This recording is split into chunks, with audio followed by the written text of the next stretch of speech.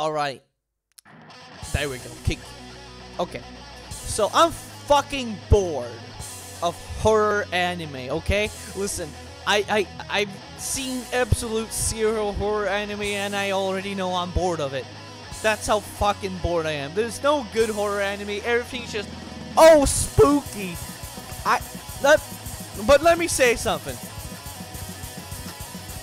I want people to recommend me. If you, if any of you guys know any like horror anime, and I don't mean like, oh, like scary. Oh, this is like psychological. I mean like, not even re-serial lovers. I mean, we're going all in. We're going. You see that poster? If they're not ripping their fucking spines out, I'm not interested.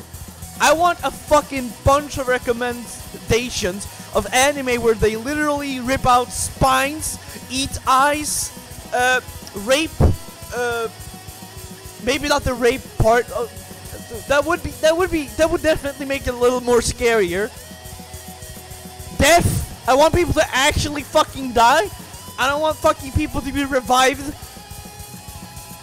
Um, I want I want to feel like I, I want to feel like I'm going to fucking puke.